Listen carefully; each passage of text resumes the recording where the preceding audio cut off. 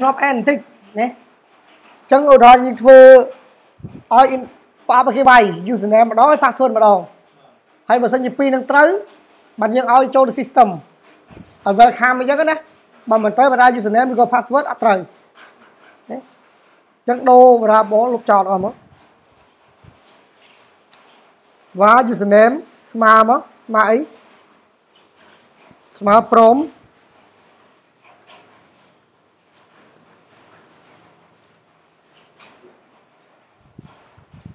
enter ដាក់ username ញ៉េះណា username ចុច2មក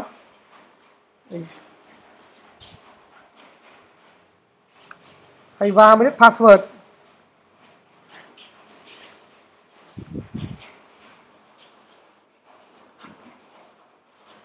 ពីដែរមកនេះ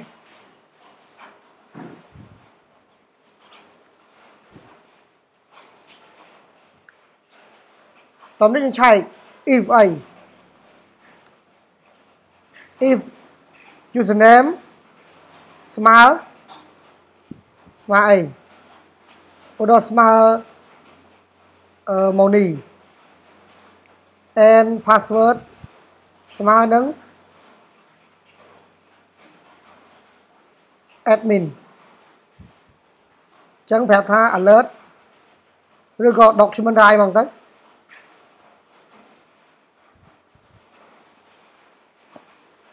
welcome បើខុសពីហ្នឹង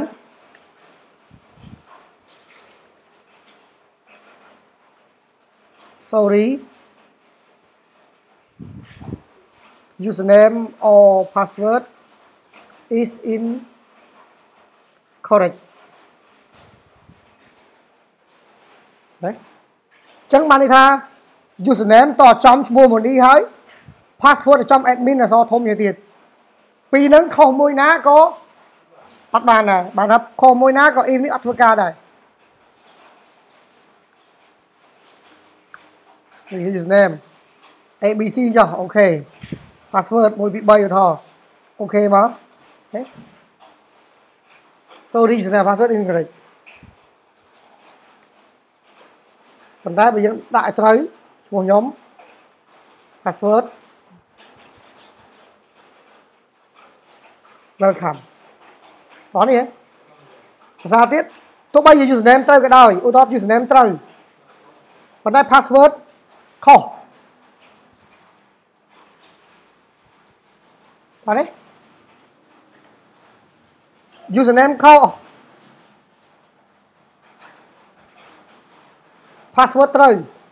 ក៏អត់ត្រូវដែរឃើញទេ